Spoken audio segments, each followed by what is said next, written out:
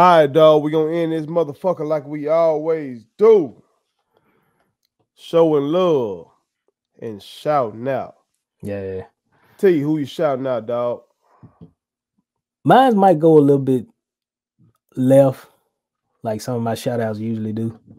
Okay. But I'm gonna bring it home. I'm gonna bring it home because you know, a lot of times we get caught up with celebrity, celebrities, and you know, we get caught up in all the the glitz, glamour, the the fame, and everything. You know, but I got some things. I got some got some things cross my feed about a certain individual that's popular, popular female rapper who you know she been she been everywhere. She been all across your TV screen. Folks going to Popeyes now for that sauce she got out. Okay. And uh but it boils back down to something that she promised she would do for a mother. You know, for about on, on her mother's wishes. She she wanted to grant her mother's wishes. And that was graduate from college. Mm-hmm. And that's one Tina Snow, aka Megan Thee Stallion. Okay. I- I just want to give her flowers, man. You know, I know a lot of people won't really just put it out there, talk about it, talk about it, you know, for real, for real. But I believe the story as I read it was she wanted to rap. Mhm. That, was that was her thing. That was her passion. Now mama was like, okay, you can get out here and you can rap. But if it's gonna become a thing and you about to blow and your college takes a hit, you gotta promise me you're gonna get that degree. Mhm. And she did it. She did it. She got the degree. And so, you know, it just just being able for her just to be able to from the human side of it, just looking at somebody that, you know, made it, made a promise to her mama that she that she, and kept it and got that piece of paper, even though she don't truthfully don't really need that piece of paper because she she she paid now. Mhm. But just to be able to say, Mom, I did this on your wishes. Yeah, I think that's just a shout out in general, man. Any and anybody out there, man. You know, if you go drive, you drive do something for you know somebody. You you promise somebody you're gonna do something, and you do it, especially something of that magnitude. I don't really know. She that may have been the first degree in her family. You know Mhm. what I'm saying? I'm one. I'm a kid. My parents didn't go to college. You know, well, my mama did one year, but neither one of them have degrees. Their, their highest degree was high school. So I always was driven to finish and get a four year degree. So it's just those, those kind of things, man. I think I just, I just, I just found it great. I mean, being that she's type of has the type of stardom and fame that she has right now, but to just be able to go do that, I got to give respect to that. You know what I'm saying? So shout out to Tina Snow. Hopefully that's hopefully they don't call her Megan Thee Stallion at the doggone graduation. Hopefully, but if they do, whatever. But uh, you know, I just wanted to shout that out though. Okay. No doubt about it. No doubt about it. You know what I'm talking about? And shout out to Tony. Long live my boy Tony Snow. Right, Long live the pimp. Chad Right. Butler right, right, as right. well. You know what I'm saying? Since you're shouting out Tina Snow, I just want to throw that in there. That's No my doubt, no doubt. But uh, I want to shout out a Mississippi basketball icon, uh, Coach Lafayette Stribling. Mhm. I'm, be Icon. one, I'm, I'm, I'm gonna be 100 about something.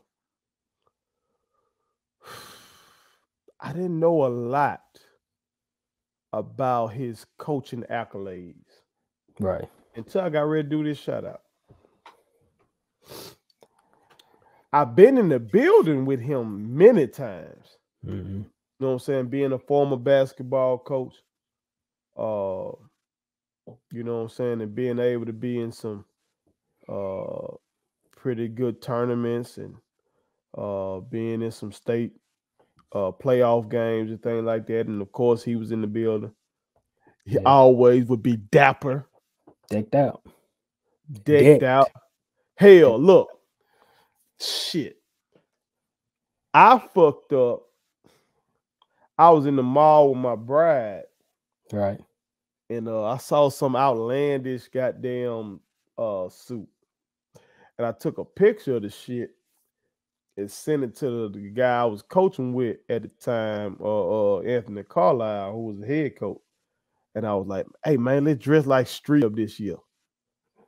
I'm just talking shit. Right. This motherfucker thought I was serious Right. Right. and decided to roll with it. And that year we ended up being in shirt and tie, like it dress. We ended up being suits that year. Right. When the previous year we were just in like, you know, some regular gear. Right. But he thought I was serious, like, no, we gonna get decked out like Strib. Cause if you know Coach Stribling, let's say you never saw him coach. And I don't think I ever saw him coach a game. Mhm.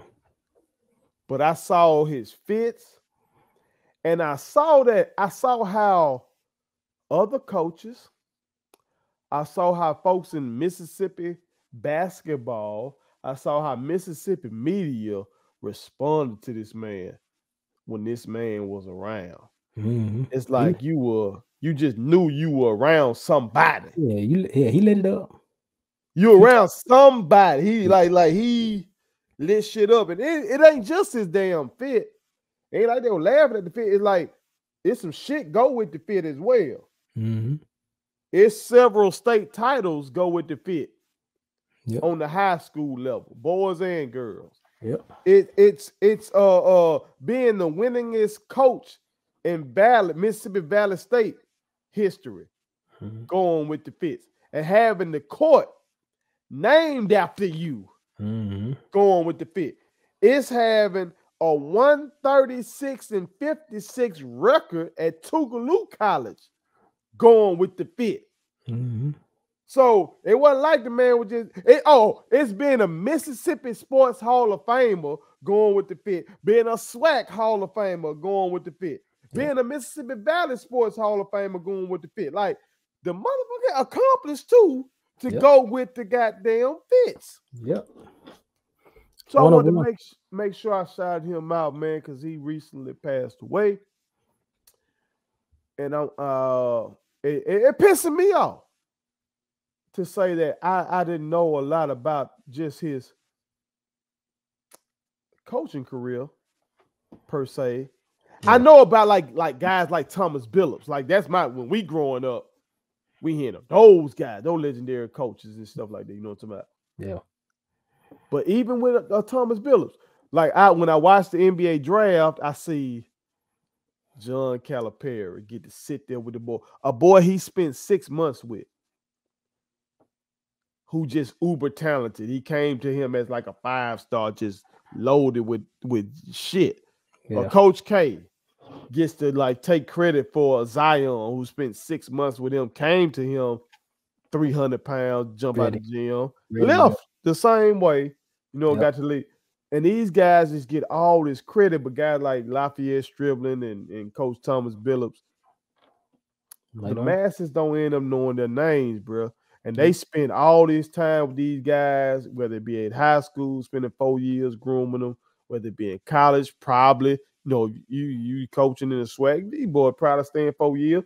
You grooming them, you know what I'm saying? And if they make it to the league or they make it to uh European ball or something like that, you've done a hell of a job. Yeah. But the masses don't end up knowing their name. But around here in Mississippi, we respect and we affectionately call him Strib. Yep. So I wanted to make sure I shouted him out man. and long live forever. Yep. Coach Strib. Yep. But America, we appreciate y'all for fucking with us. Please continue to do so. Please continue to follow us across all social media platforms. Facebook, put it on some that's Instagram, put it on some that's uh Twitter, P-I-O-S underscore 100. Uh, follow me and my brother Tim G. J across all social media platforms. Make sure you check out the description. You will see where to follow me, particularly.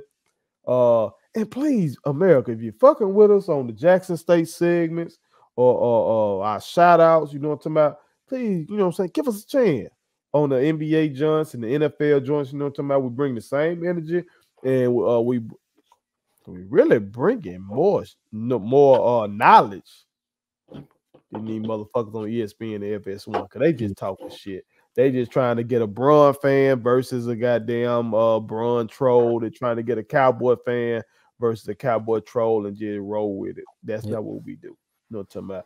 But uh we appreciate y'all for fucking with us. Please continue to do so and please continue to fuck with Staple Tees. That Staple Tees, every t-shirt you wear makes a statement. Makes a statement, excuse me. Yep. As always, one.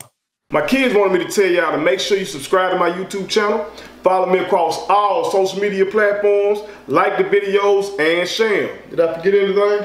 And turn on the post notifications. Y'all heard them. And also, visit StatementTeesLLC.com and shop with us. That's Statement Tees. Every t shirt you wear, Makes a statement.